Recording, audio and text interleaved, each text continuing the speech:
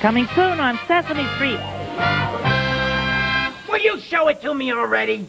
Okay, here it is.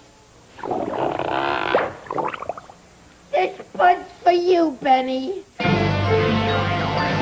Toodaloo.